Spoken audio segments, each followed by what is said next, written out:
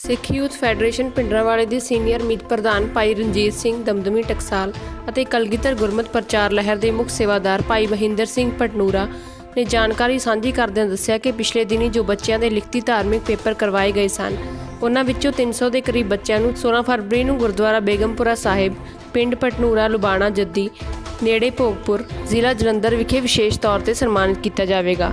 ਭਾਈ ਰਣਜੀਤ ਸਿੰਘ ਦਮਦਮੀ ਟਕਸਾਲ ਅਤੇ ਭਾਈ ਮਹਿੰਦਰ ਸਿੰਘ ਨੇ ਦੱਸਿਆ ਕਿ ਗੁਰਬਾਣੀ ਇਤਿਹਾਸ, ਮਰਿਆਦਾ ਸੰਬੰਧੀ ਜਾਣਕਾਰੀ ਰੱਖਣ ਵਾਲੇ ਬੱਚਿਆਂ ਨੂੰ ਅਤੇ ਇਮਤਿਹਾਨ 'ਚ ਪਾਸ ਅਤੇ ਹਿੱਸਾ ਲੈਣ ਵਾਲੇ ਅਤੇ ਅਵਲ ਦਰਜੇ ਪ੍ਰਾਪਤ ਕਰਨ ਵਾਲੇ ਬੱਚਿਆਂ ਨੂੰ ਨਗਦ ਇਨਾਮ ਅਤੇ ਟਰਾਫੀਆਂ ਦਿੱਤੀਆਂ ਜਾਣਗੀਆਂ।